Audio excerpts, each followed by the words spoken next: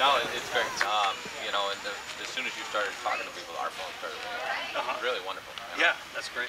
Yeah, I was writing emails for two or three days. Remember that? Yeah, I remember you saying that. Like, Well, they're very nice people. I mean, all around. So.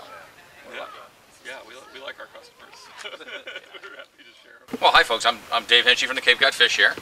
Uh, we come out of uh, Chatham, Massachusetts, which is on the outer elbow of the Cape, and we bring fish from the, the local day boat fishing boats down there. There's 29 of them in the fleet in Aunt Lydia's Cove and Chatham. Uh, the boats go out anywhere from 8 to 20 miles on a short trip, and if they go a long trip for the, the eastern part of Georges Bank, they go out about 150 miles. Uh, we generally get the fish 99% of the time from the 8 to 20 mile trip. And what happens here is the boats are getting a direct connection with the consumers and the normal s- value chain for how fish is handled is cut down by about six steps and the boat captains get 30 to 50 percent more for this fish than they do for uh, the fish they have to put out of the auction in New Bedford. What specifically happens in that case is they get more income per trip, less trips per year, and we maintain the fishery in a healthy manner and try to avoid the overfishing that's been going on with the trawling boats compared to the line caught boats, which are the boats out of Chatham. Uh, these are all small businessmen. They employ one or two people, um, and they go out and they're very weather sensitive.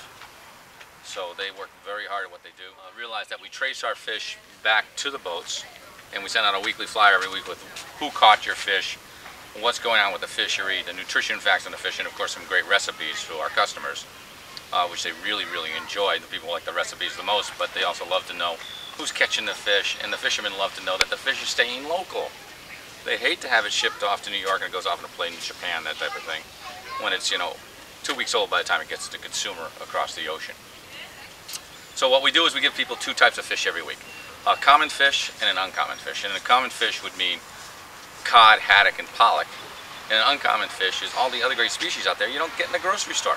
We've had in this year, we've had squid, we've had gray sole, we've had sand dabs, which is another type of flounder, uh, bluefish, um, Atlantic pollock, cod, and haddock so far. This, this year is halfway through. The next one starts at the beginning of July.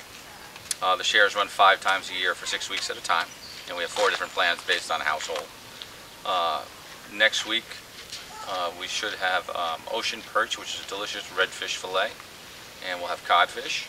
Uh, our scallops are unmatched because the scallops, until you've had day boat scallops from Chatham, you really haven't had scallops. They come in and, I mean, we pull the vans to the back of the dock, 50 pound bags of scallops come off. We take them and put them in one pound packages for you, and we're off and running. The same thing with the lobsters. The trucks are pouring water out the end from the, the lobster traps come out, we put them in, sort the lobsters. We buy cull lobsters, which are lobsters meaning missing one claw uh, because it helps the fishermen very much because they can't sell those to the processors. It doesn't, doesn't look perfect in a stop and shop tank where the lobsters have been anywhere from two weeks to four weeks old. Uh, our lobsters have one claw, but they're sweeter, they taste better, and uh, they tend to have a little more meat in the tail because they put an energy in their tail when they're missing a claw. So, tastes exactly the same, just doesn't look as pretty, and it helps out the fishermen again very much. The sustainability aspect, I think I touched on just a little bit. This is line caught fish. They're not being trawled, ruining the bottom of the ocean, the environment for the fish to uh, uh, continue to reproduce and whatnot. For instance, a female codfish will produce between three and five million eggs when she spawns, but if they're scraping the bottom along with the trawls, you ruin the environment and you cut down the codfish population, which is what happened in the Gulf of Maine, because the codfish population has collapsed up there and they're putting draconian limits on the catches next year. Oh. Fish Wholesaler has been very innovative in what they're trying to do to introduce people to such things as, they call it Chatham salmon, which is spiny dogfish. It's delicious. People never had it before, and uh, we have it, actually we'll probably have it this year before the end. Beautiful fillets of, of, of shark. Tastes fantastic. Very sustainable species. In our newsletter anyways, we also put in from the, uh, the government uh, NOAA site, which monitors the fisheries, what is the condition of the fishery or the fish you're eating? Has it been rebuilt? Is it rebuilding? Uh, and the methods used uh, with the catching, the sustainably caught stuff. The dragger uses what they call turtle-friendly gear to, to save the, the sea turtles out there. It will break off if a sea turtle gets in the way. won't get tangled in it. The lobster traps also have whale-friendly gear, which was developed by the guys. If a whale hits that, that gear, the gear will break off and float away, and the whale doesn't get tangled. And the, uh, the lobster boat has ways to recover those traps later. They know where they we are. We wanted to develop new markets, and uh, of course, Ed Cerzero, who, who owns half the company, lives in Belchertown. And we knew that if we could bring this high quality fish out here to Amherst on a basis that the fish is caught on Thursday night, we process it on Friday, and you've got it Saturday morning. It doesn't get fresher than that, and the quality is just off the charts good. So we're trying to develop uh, kind of a matching program with the local CSAs uh, to bring fish out at the same time the CSAs are picking up to introduce people to this product. And so far, um, it's been very successful. The customers are very happy with the product, and they're talking to each other and they're telling people. I'm going to bring my colleague Ed Cerzero, who's off camera here. It's uh, it's been just unbelievable uh, being involved with uh, local food community here in Western Mass. Just the enthusiasm up and down I-91. Uh, it's just unbelievable. The support of local initiatives, sustainability, uh, and but all you know, just a real concern over food security, food safety, and health. It's it's all kind of coming together, and the amount of support that I feel in the community makes this just incredibly exciting to be a part of. I just can't wait to get here with the fish, and all up and down I-91.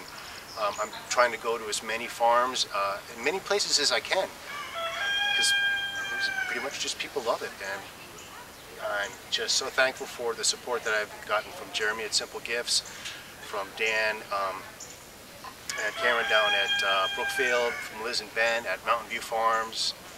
Uh, you know, I could go on and on. We're just limited by, we're limited by how fast we can get it here and how many people we can we can get to. Uh, to right. So specifically for uh, deliveries, we're uh, we're Saturday at Brookfield Farm. It's happening right now down there. Saturday at Simple Gifts Farm. They're pretty much going on currently when people pick up their shares. Uh, sometimes we might not get here at 9 o'clock, especially on the lobster day, it's quite a quite a uh, logistics, quite a long path from Chatham to here. Uh, Thursdays we're at Mountain View Farm from 3 to 7. Um, if you're lucky enough to be a Baystate employee, we're there at their own farmers market, private farmers market on their campus from 2 to 5.30 on Wednesday. And then pretty much the rest of the pickup locations are in the Boston area, which Dave handles, and on Cape Cod which Dave handles. So that's how you can get processing Kitchen Cove. Yeah, it's a great outfit actually. Um, it's a Whole Foods outfit. Yeah. Um, then it goes out to another storage unit, then it goes to the store. Okay. So you're about eight days out by the time you actually get it. Okay. This stuff, um, it really doesn't get fresh.